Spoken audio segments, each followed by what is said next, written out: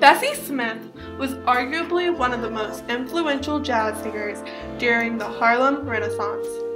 The Harlem Renaissance was a movement that represented an outpouring of African American culture and entrepreneurship. As African Americans moved north, they brought with them a culture born of their experiences navigating an often unfair society based on social norms for which they possessed little ability to change.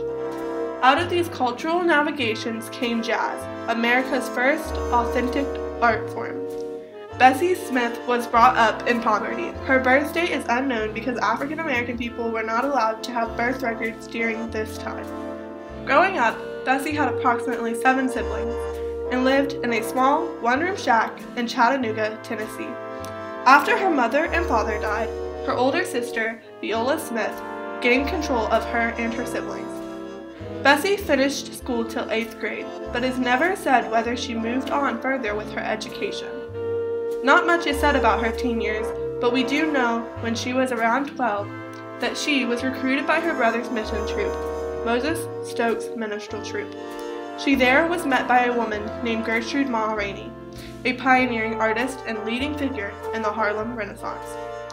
Smith defied racial barriers through the force of her indomitable personality and self-confident artistry. She wanted to change people with their, her voice, and that's exactly what she did. She made more money than any African American person before her. Though she's a famous singer, her life has had a lot of downs.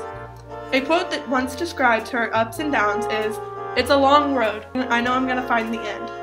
Another quote is, Trouble, trouble, I've had it all my days. It seems that trouble is going to follow me to my grave. One of her first troubles was she wasn't signed by a label by Bother Ochre and Black Swan Records for sounding too rough. Smith's notorious private life contributed to the glamorizing of self-destructive behavior often associated with jazz, blues, and rock performers to the present day. Smith's violent temper, combined with physical strength and predatory sexual life involving both men and women, were boundary breaking. Although she was married to a man named Jack Gee, who reportedly beat her, she carried on. Another quote that relates to this is No time to marry, no time to settle down. I'm a young woman and I ain't done running around. This signifies that this marriage wouldn't hold her back or define her. Adding to how famous Smith is, she recorded with a very well known trumpet player and singer, Louis Armstrong. Louis Armstrong played trumpet for her in many of her songs. Three songs they corresponded in were Dear Old Southland, Someday You'll Be Sorry, and Jeepers Creepers. Smith defined a new era. She sang jazz, often changing people's views on African Americans just by the way she carried herself.